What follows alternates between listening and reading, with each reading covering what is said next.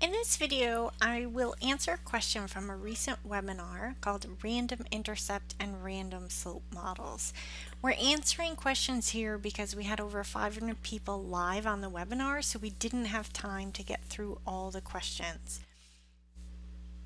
If you missed the webinar live, this and the other questions in this video series may make more sense if you watch the webinar recording first.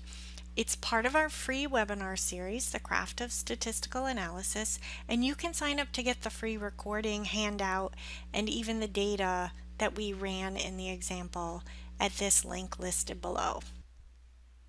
Yo asks, is there a fix if the data is not normally distributed, or is that a deal breaker for using the mixed model approach? Again, another great question. So Mixed models, or linear mixed models, I should say, really have very similar assumptions of normality that linear models do.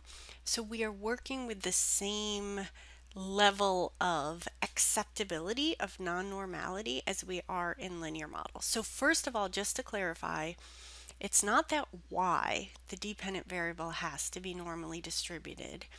It's the residuals or correspondingly y given x. So it's quite possible if y is unbounded, quantitative, and measured on an interval or ratio scale, that indeed uh, it does not have to actually be normally distributed because once you account for the x's in the model, everything on the right hand side of the equation it may then be normally distributed. That's the same as the distribution of the residuals.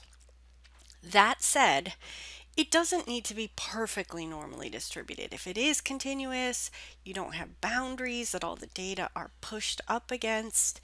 Um, if it's reasonably normally distributed, we're going to get close enough estimates, close enough reasonable p-values so that's what we're looking for is reasonably normal.